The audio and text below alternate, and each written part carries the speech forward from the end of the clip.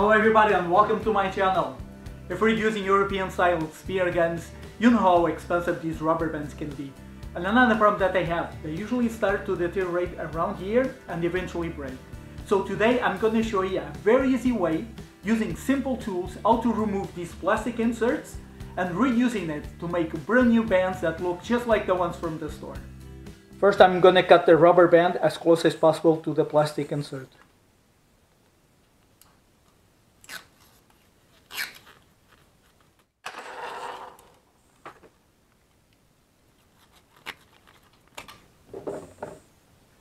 And now, all of these have a little piece inside. Usually it's a, like a um, ball bearing or it could be a small plastic cone like this one here. These are all the different things that I found in different rubber bands.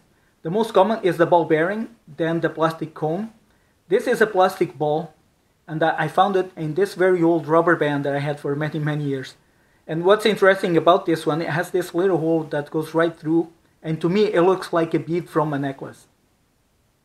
This one I suspect it's a ball bearing because usually they have a little bit of rust stain around this hole. To remove it, I made this little piece. It's just soft wood, and um, it could be any size, but this one is three centimeters by roughly nine and a half by one centimeter thick and I made uh, these holes. Oh and these cutouts this is just to be easier to clamp in the vise. So now I put the plastic insert and um, with this little punch it could be anything. Could be a nail. Just the tip needs to be flattened. And now with a hammer and this little container I put it underneath to catch that little ball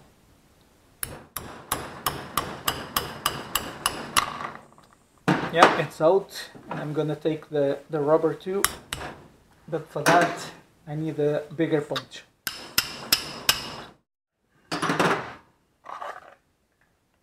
So there's the little piece of rubber and the small ball bearing. And it has a little bit of rust. Got the power drill clamped in my vise and using this sanding disc I'm gonna start grinding the ends of the rubber bands to fit the plastic inserts. I buy these in bulk, which is a lot cheaper than buying pre-made rubber bands. And another advantage, this way I can cut it to whatever length I need it as I need it. First thing I'll do is to grind the ends.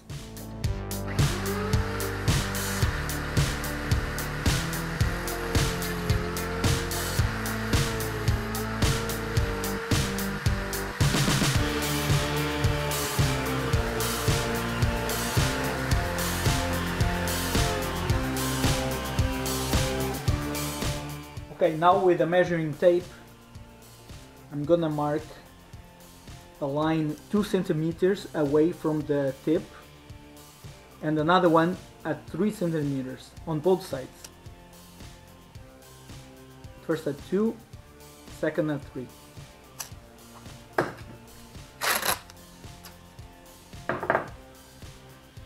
And now with masking tape, I rubbed a couple times around over the first line.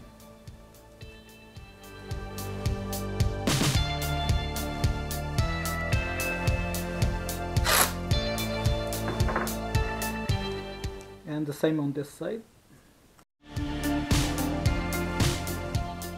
Okay, and now I start grinding the taper.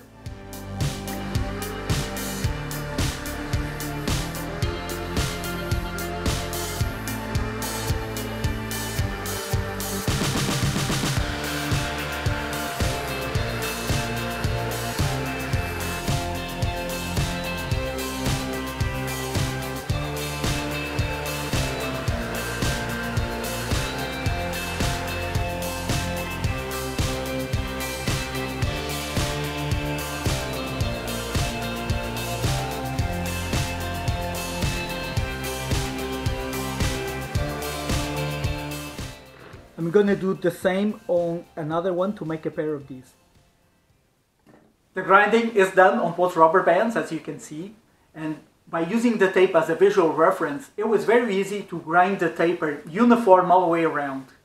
But now it's time to remove the tape and start fitting the rubber bands into the inserts. I made this hole just a little bit smaller than what the diameter of these threads are. The threads are 14 millimeters with a 1 millimeter pitch and because the wood is soft it was possible to use the insert itself to cut the very shallow threads. And now I just have to tighten this in all the way down clamp it in the vise and start fitting the rubber bands.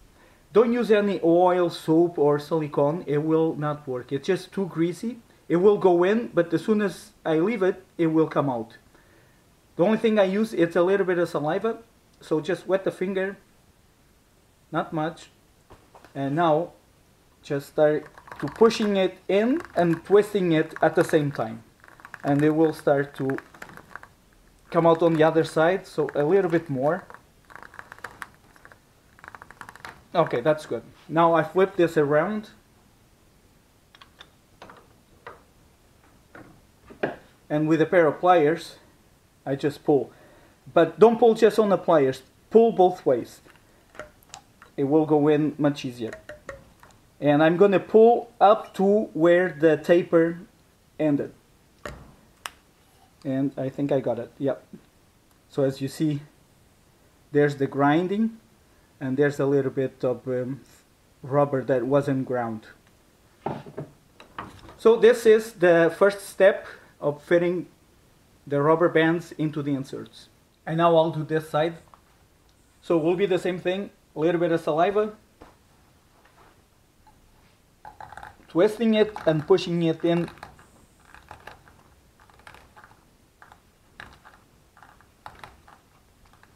Okay, it's good.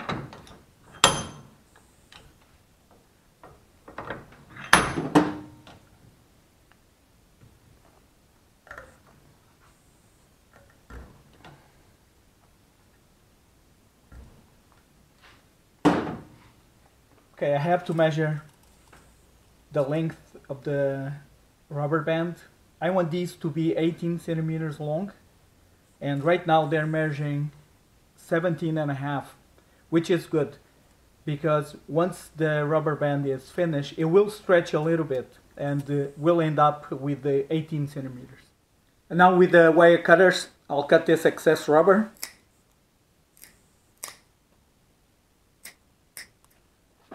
and uh, I finish it with the bench grinder.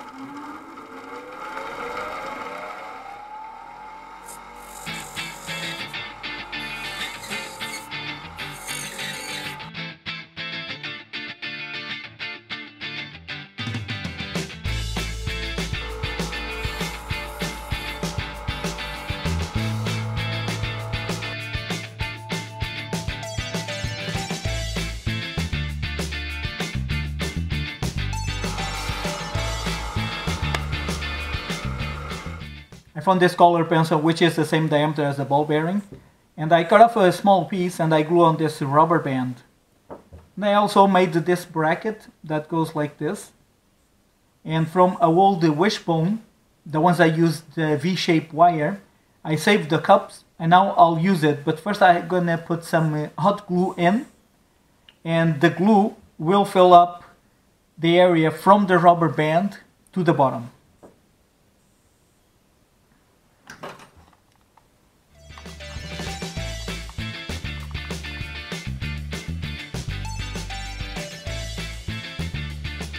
Now I just have to let it dry and um, I have to drill a hole on the bottom and thread it to 5 millimeters.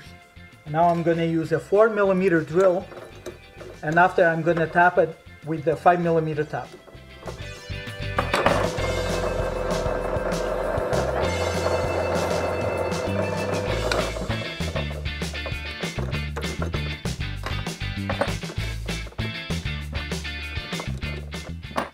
If you don't have a tap, you can make uh, one out of a screw. Just file a couple cuts around the screw and uh, for plastic or even aluminum, it works very good. Now to tapping, I'm gonna turn the chuck by hand. This can be done with a power drill The only thing is, it's important that the hole be as straight as possible. With the drill press is much easier.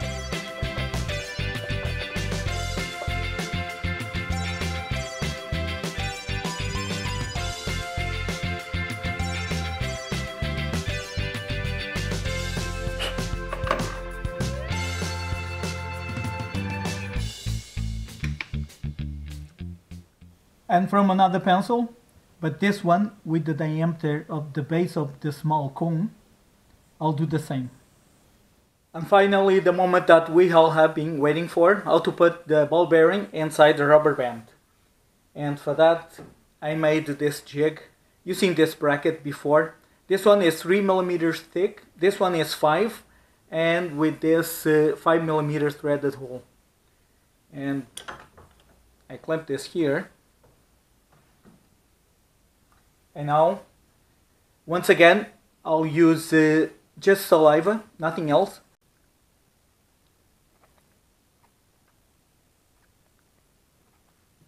And I got the cup from the wishbone.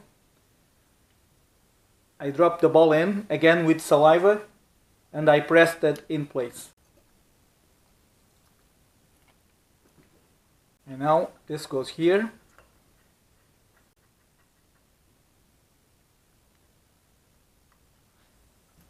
And I made this screw. I changed a little bit here the tip and I made this uh, knob to be easier to turn.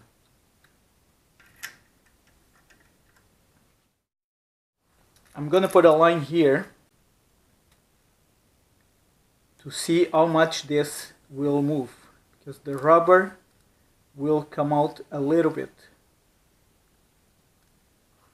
and to prevent that it will come out a lot because there's a lot of pressure inside here when I push the ball in. I'm gonna push it that way and at the same time turning this screw turning and there will be a time that uh, the pressure is so much that uh, okay I can see the line now it's moving and now I'll back up so we moved about, I would say, two millimeters. Okay, now I'm gonna turn this around because I wanna check it to see if the ball it's at the right depth. Okay, it needs to be to the red uh, tape. So I'm gonna see if I can drive it a little bit more.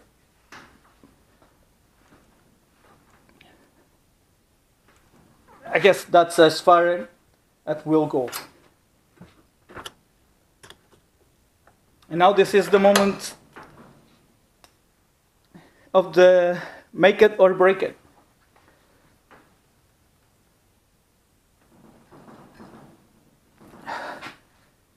Well, it passed the test.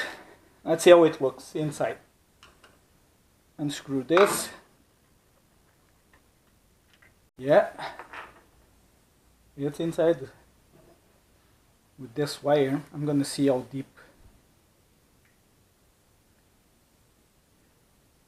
Yeah it's right. The ball will be imagine the ball from this point to where the wire is right now. So any less than this it's no good. The rubber will come out. Well I'm gonna do this side now I tried this with oil, liquid soap, silicone, nothing worked, just too greasy. And uh, when I pushed the rubber, it would just come out.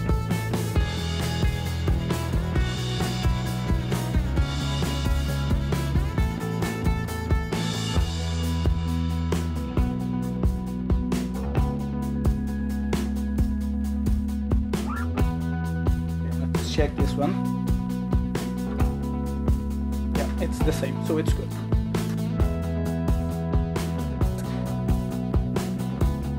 Oh, this will never come out. Oh, yeah.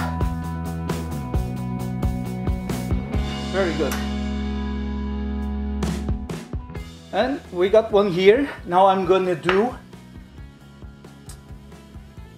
this one here, but using the cone. Once again, lots of saliva. It works and it's cheap.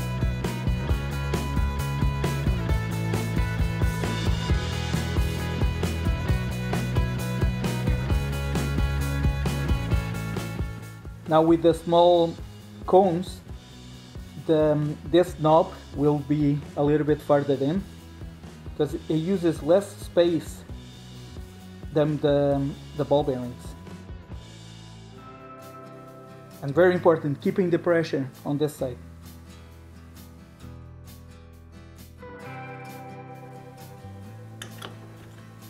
Okay, checking the, the depth.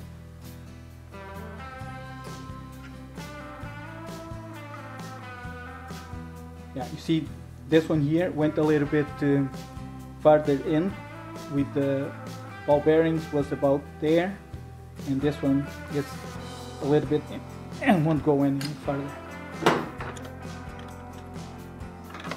and let's test it.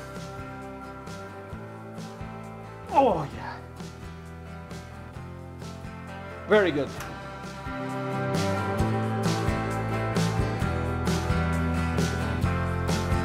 I'll do this side now.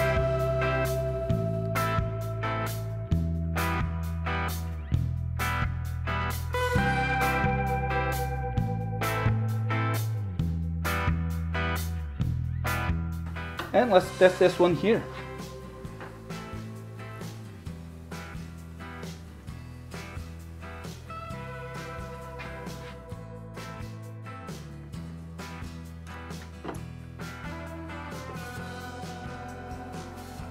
when I put the inserts, I left half a thou, well, half a thou, half a centimeter shorter.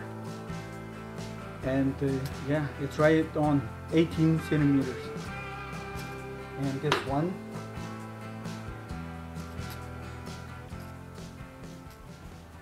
Right on.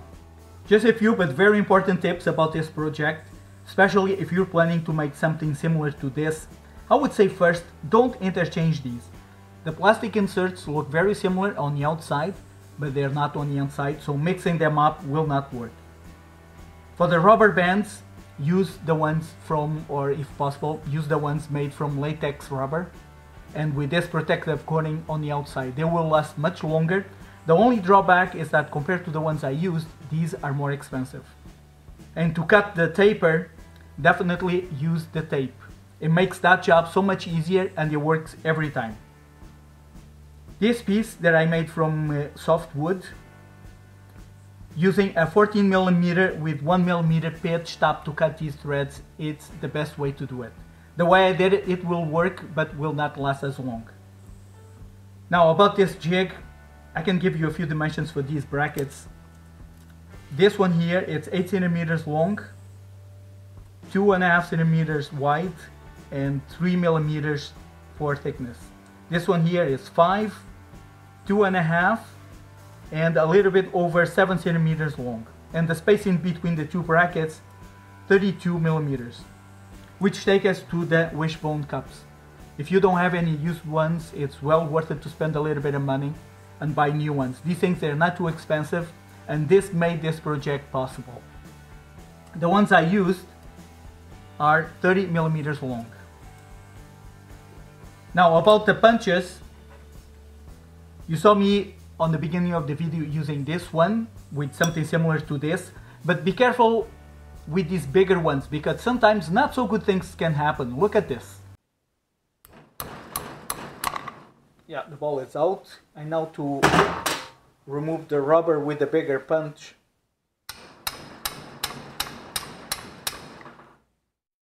That's not good. I was a bigger defender of the bigger the better, but that doesn't work every time. Uh, what else I have here? Okay, this piece that I made, I made this from a 5 millimeter screw, and I can give you a few dimensions too.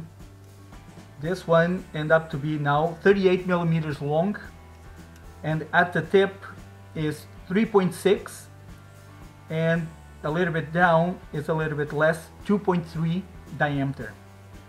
I made the knob but it's possible to use a wing nut. It will work just as fine. And now the final product. I just have one thing to say. It's well worth it to spend a little bit of time and making a few parts to start making these at home. Price wise these are less than half of the price compared to the ones pre-made. And another advantage, it's this way, it's possible to do whatever size is needed as we need it. And finally, I hope you liked this video. And if you're not a subscriber, I invite you to visit my channel. And if you like what you see in there, don't forget to give a big thumbs up, write a comment, and obviously subscribe. Will definitely encourage me to make more videos like this one. So for now, I gotta say thanks for watching my videos, and I'll see you next time on Mr. My Videos For You. Bye bye!